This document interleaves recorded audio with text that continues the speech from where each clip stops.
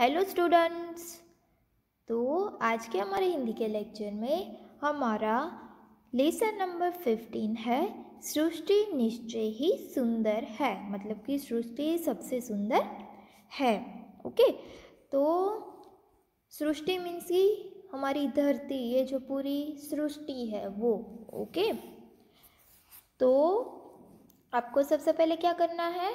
आपकी fair book में lesson number fifteen का हेडिंग देना है। सृष्टि निश्चय ही सुंदर है। एंड देन आपको शब्दार्थ लिखने हैं, ओके? तो चलो, सबसे पहले हम शब्दार्थ देखते हैं। तो फ़र्स्ट है विद्यालय। विद्यालय मीन्स की पाठशाला स्कूल देन सृष्टि। सृष्टि मीन्स की धरती अर्थ देन स्वागत स्वागत मीन्स की अभिनंदन वेलकम करना हम आते हैं हमारे घर पे गेस्ट तो हम उसका वेलकम करते हैं उसका स्वागत करते हैं है ना देन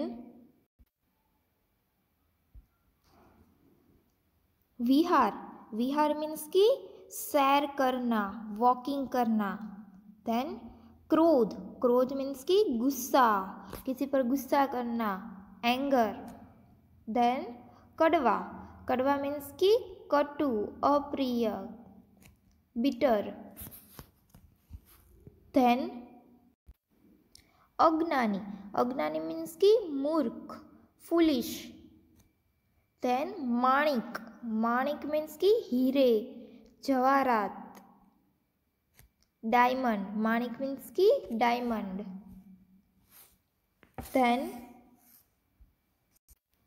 बीसात बीसात मीन्स की हैसियत कैपेसिटी बीसात मीन्स की हैसियत कैपेसिटी देन छल छल मीन्स की धोखा देना डिसिट देन शिरोमणि शिरोमणि मीन्स की सरताज, मालिक चीफ पर्सन क्या? चीफ पर्सन देन विवाद. विवाद मीन्स की कहा सुनी, मतभेद, तकरार, ओके? डिस्प्यूट क्या विवाद करना, किसी से साथ हम बहस करते हैं, ओके? वो। तो ये हो गए हमारे शब्दार्थ। अभी हम लेसन देखते हैं। तो सृष्टि निश्चय ही सुंदर है। तो ये लेसन में सबसे पहले विद्यालय के आँगन में रंगमंच, नट और नटी प्रवेश करते हैं। तो विद्यालय था, स्कूल था, उसके आँगन में एक रंगमंच मतलब कि स्टेज रचा हुआ था, बनाया हुआ था। उसमें नट और नटी प्रवेश करते हैं मतलब कि उसकी एंट्री होती है। फिर दोनों दोनों मीन्स की नट और नटी, वो बोलते हैं, हाथ जोड़कर, सबको प्रणाम करते हैं। फिर बोलते हैं, हमारे विद्यालय में आपका स्वागत है। हम कहते हैं ना, कोई भी हम प्रोग्राम स्टार्ट करते हैं, है ना? स्टार्ट करते हैं कोई भी प्रोग्राम तो हम पहले तो सबका वेलकम करते हैं ना? इसलिए नट और नटी दोनों ने सबका वेलकम किया। देन नट बोला, आज जून के महीने की पाँच तारीख है। तो फिर नट क्या बोला कि, आज जून के महीने की पाँच तारीख है। मीन्स की फिफ्थ जून है आज। देन नटी बोली हाँ आज विश्व पर्यावरण दिवस है। तो फिर नटी ने क्या बोला कि हाँ आज विश्व पर्यावरण दिवस है। क्या वर्ल्ड एनवायरमेंट डे? विश्व पर्यावरण दिवस मीन्स की world environment day, okay? Then फिर दोनों बोलते हैं। इस शुभ अवसर पर हम सुंदर सृष्टि को लेकर एक नाटक प्रस्तुत करेंगे। तो फिर नट और नटी, देखो ये नट है एंड ये नटी है। तो वो दोनों ने क्या बोला कि इस शुभ अवसर पर, इतने शुभ अवसर पर हम, हमारी सुंदर सृष्टि को लेकर एक नाटक प्रस्तुत करेंगे। नाटक मीन्स कि एक ड्रामा पेश करेंगे। देन नट बोलता है। क्या आप जानते हैं कि इस नाटक का उद्देश्य क्या है? तो फिर नट क्या पूछता है सभी को कि क्या आप जानते हो कि इस नाटक का उद्देश्य क्या है? देन तो फिर नटी बोली हाँ प्रकृति माता सबको स्नेह के साथ पालती है। उसकी नज़र में कोई बड़ा, छोटा नहीं है। सबका समय के अनुसार महत्व है। तो फिर नटी ने क्या बोला कि हाँ प्रकृति माता है, वो सबको स्नेह के साथ पालती है। हमारी जो प्रकृति है, प्रकृति मीन्स की नेचर वो हमें, हम सबको स्नेह के साथ पालती है। उसकी नज़रों में न कोई छोटा है और न कोई बड़ा है। सबका समय के अनुसार महत्व होता है। फिर नट बोलता है तो आप सबके सामने प्रस्तुत है ये नाटक। तो फिर नट क्या करता है? नट ने बोला कि तो आपके सामने प्रस्तुत है ये नाटक। तालाब का किनारा, सुबह का समय। तो तालाब का किनारा था और सुबह का समय था। तालाब में राजहंस और राजहंसिनी विहार कर रहे हैं। तभी कौवे की ध्वनि सुनाई देती है। तो तालाब के किनारे सुबह को तालाब में राजहंस और राजहंसिनी वॉकिंग कर रहे थे, विहार कर रहे थे मतलब कि वॉकिंग कर रहे थे। तभी कौवे की ध्वनि सुनाई दी मतलब कि आवाज़ सुनाई दी। तो राजहंस बोला, पता नहीं कौन सुबह सुबह कानों को चुभने वाले काव काव जैसे शब्द बोल रहा है। तो राजहंस ने क्या बोला कि पता नहीं कौन सुबह सुबह कानों में चुभने वाले काव काव जैसे शब्द बोल रहा है? ऐसा राजहंस ने बोला कि कौन ऐसा काव काव कर रहा है वो भी सुबह सुबह। तो फिर राजहंसिनी बोली, अरे स्वामी, ये कौवा ही है, इसका तो रंग भी काला है और गुण भी काले हैं। अच्छी बुरी सब तरह की चीज़ें खा जाता है। इसके कड़वे शब्द। तो फिर राजन सिंह ने क्या बोला कि, अरे स्वामी, ये तो कौवा ही है। क्या? ये तो कौवा ही है। इसके तो बोल भी काला है, उसका रंग भी काला है और उसके गुण भी काले होते हैं। अच्छी बुरी सब चीज़ें वो खा जाता है। इसके कड़वे बोल। तो ऐसे बोल रही थी राजहंसिनी की इसके तो कड़वे शब्द। मतलब कि किसी को सुनने में अच्छा ना लगे, वैसे वो कौवा बोलता है। तो फिर ऐसा बोला, सुना ना, राजहंस और राजहंसिनी जो बातें कर रहे थे वो कौवा ने सुना। तो फिर कौवा बोला, वो भी क्रोध में प्रवेश करके, देखो, ये राजहंस है, राजहंसिनी है एंड ये कौवा है। तो फिर क्रोध में वो आता है। आपने क्या कहा? अगर मेरा रंग काला है तो भगवान राम और तो फिर कौवा ने क्या बोला? कि आपने क्या कहा? अगर मेरा रंग काला है तो भगवान राम और तो भगवान राम और कृष्ण भी तो काले थे। अरे, मैं तो प्रातः काल सोते हुए को जगाता हूँ। तो फिर कौवा ने क्या बोला? कि आपने क्या बोला? अगर मेरा रंग काला है तो काला रंग तो भगवान राम का भी था एंड भगवान कृष्ण का भी था। अरे, मैं तो प्रातः काल मतलब कि सुबह सोते हुए लोगों को जगाता हूँ, ऐसा कौवा ने बोला। फिर राजंस बोला, ये काम तो मुर्गा भी कर सकता है। तो राजंस ने क्या बोला कि, ये काम तो तुम क्या, ये तो काम तो मुर्गा भी कर सकता है। फिर कौवा बोला वापस शहरों में मुर्गा कहाँ? मैं तो सब जगह आसानी से मिल जाता हूँ। तो कौवा ने क्या बोला? शहरों में अभी मुर्गा कहाँ पे है? मैं तो सब जगह आसानी से मिल जाता हूँ। फिर राजहंसिनी ने बोला, अरे बातूनी, अपनी कड़वी बोली से दूसरों को परेशान करने के सिवा तुम और कर ही कह सकते हो? तो राजन सिंह ने कहा कि, अरे बातूनी मतलब कि सिर्फ़ बातें करने वाला। अपनी कड़वी बोली से तुम दूसरों को परेशान करने के अलावा तुम और कर ही कह सकते हो, ऐसा राजन सिंह ने कौवे को कहा। फिर कौवा बोला, अरे अज्ञानी, मैं जिस घर की दीवार पर बैठकर बोलता हूँ तो लोग कहते हैं कि आज उनका कोई प्रियजन आने वाला है। तो कौवा ने क्या बोला कि, अरे अज्ञानी अज्ञानी मतलब कि, अरे मूर्ख मैं जिस घर की दीवार पर बैठकर बोलता हूँ तो लोग क्या कहते हैं? आज उनका कोई प्रियजन आने वाला है मतलब कि कोई उसका प्रियजन मतलब कि कोई गेस्ट आने वाला है जो उसको पसंद हो। मैं इतना सच्चा हूँ कि माँ अपने बच्चे से कहती है कि झूठ बोलोगे तो कौवा काटेगा। तो कौवा ने क्या बोला? कि मैं तो इतना सच्चा हूँ कि माँ अपने बच्चों से ऐसा कहती है कि तुम झूठ बोलोगे तो कौवा काटेगा। ऐसा हमें भी कहते थे, है ना? हमारी मम्मी कि अगर तुम झूठ बोलोगे तो कौवा काट जाएगा। इसलिए कौवा ने क्या बोला कि मैं तो बहुत ही सच्चा हूँ। माँ है, वो अपने बच्चे को कहती है कि झूठ बोलोगे तो कौवा काटेगा। फिर राजहंस बोला, रुको रुको, तुम्हारा तो पूरा शरीर सोने का बनाया दिया जाए और तुम्हारी चोंच में माणिक जड़ दिए जाए।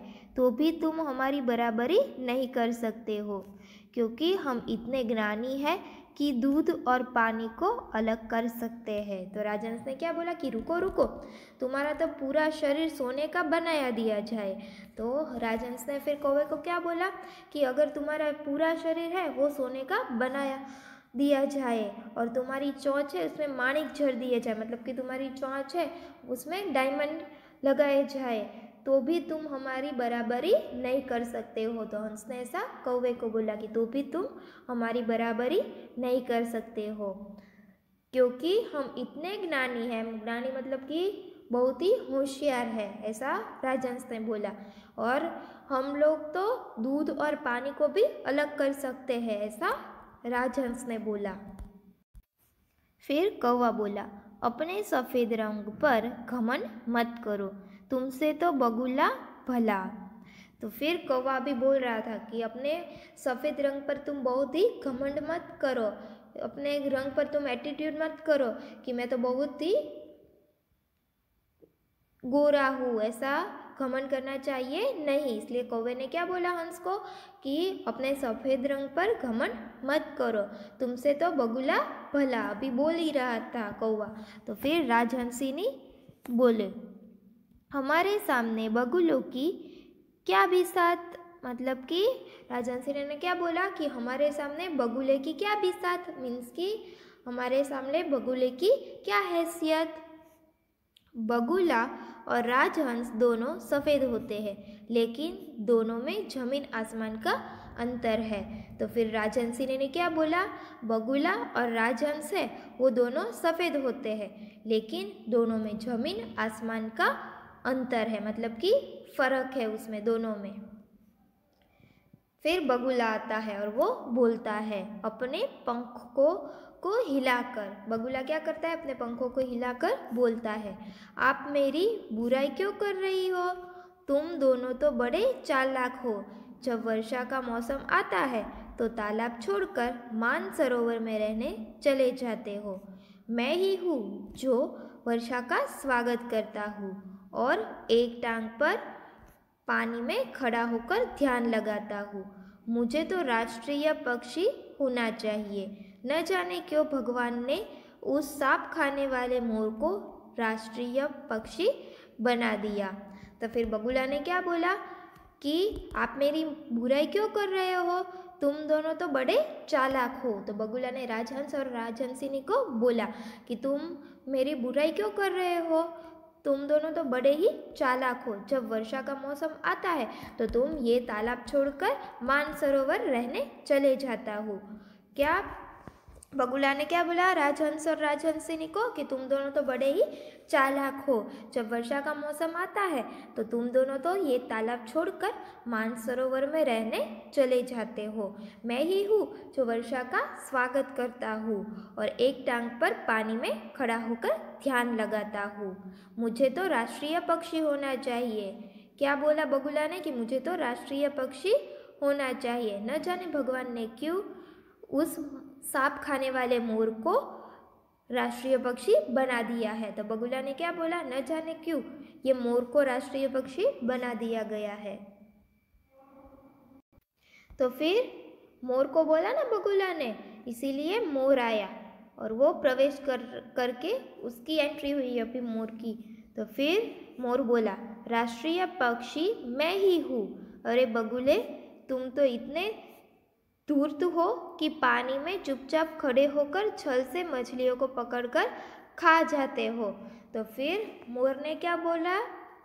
बगुले को कि तुम तो इतने धूर्त हो कि पानी में तुम चुपचाप खड़े होकर छल से मतलब कि धोखे से तुम मछलियों को पकड़कर खा जाते हो।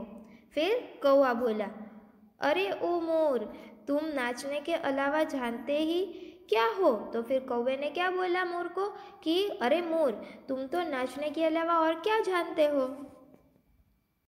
फिर मोर बोला, सुनो, मेरा नाच और मेरी बोली बहुत सुंदर है। मेरे पंख भी सुंदर है। विधाता ने मेरे सिर पर मुकुट लगाकर मुझे पक्षीराज बनाया है। तो मोर ने क्या बोला कि, सुनो, मेरा नाच और मेरी बोली दोनों बहुत ही सुंदर है। मेरे पंख भी सुंदर है।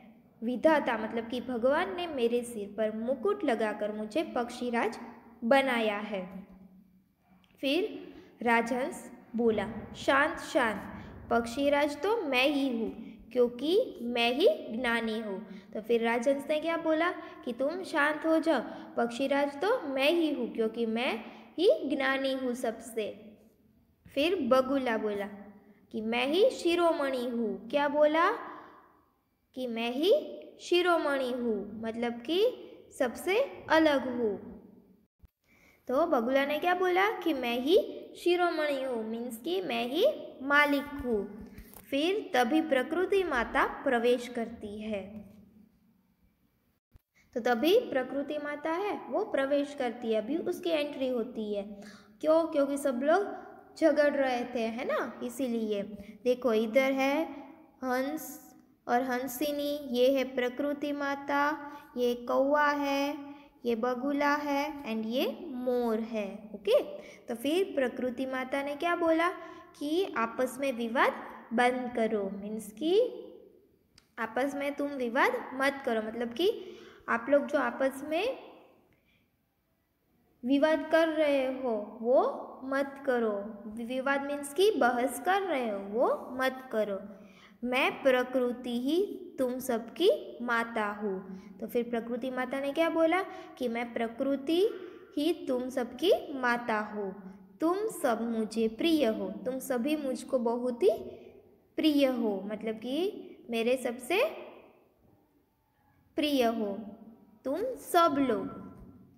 समय के अनुसार सबका महत्व है। तो प्रकृति माता ने क्या बोला कि अलग अलग समय पर सबका अलग अलग महत्व होता है। तुम सबके द्वारा ही मेरी शोभा है। तुम सबके द्वारा ही मेरी शोभा है। मिलजुल कर रहो, सृष्टि को सुंदर बनाओ। तो प्रकृति माता ने क्या बोला कि तुम सब ही लोग मेरे प्रिय हो। समय के अनुसार सबका अलग अलग महत्व होता है। तुम सबके द्वारा ही मेरी शोभा है। तुम सब मिलकर जुल कर रहो और सृष्टि को सुंदर बनाओ। तो इस लेसन से हमें क्या सीख मिलती है कि सबका महत्व होता है, परंतु समय के साथ सबका अलग अलग इम्पोर्टेंस होता है, ओके? इसलिए हम सबको मिलजुल कर रहना चाहिए, ओके स्टूडेंट्स? तो स्टूडेंट्स, यहाँ पे हमारा लेसन नंबर फिफ्टीन फिनिश होता है। Thank you students.